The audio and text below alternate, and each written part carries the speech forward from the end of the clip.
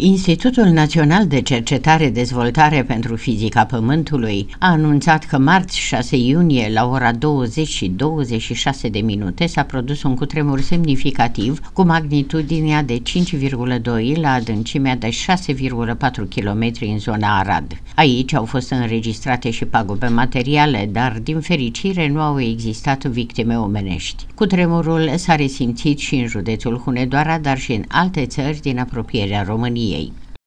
Cutremurul s-a produs la adâncimea de 5,6 km cu o magnitudine de 5,2.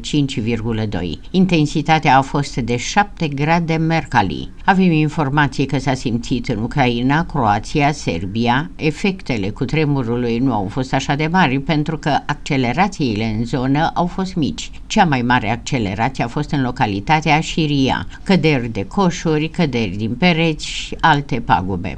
S-au produs 13 replici, din care cea mai mare a fost de 3,2 grade. Iar ultima replică a fost în această dimineață, a avut magnitudinea de 2,2, a declarat directorul INFP pentru Digi24. Experții mai spun că acest cutremur poate să destabilizeze și alte falii din zona Banatului, pentru că toată zona cuprinsă din zona Crișanei până în Serbia este fărâmițată de falii mici și falii care pot să producă cutremure de magnitudini 5 sau mai mici sau mai mult de 6, cum a fost cutremurul din anul 1992.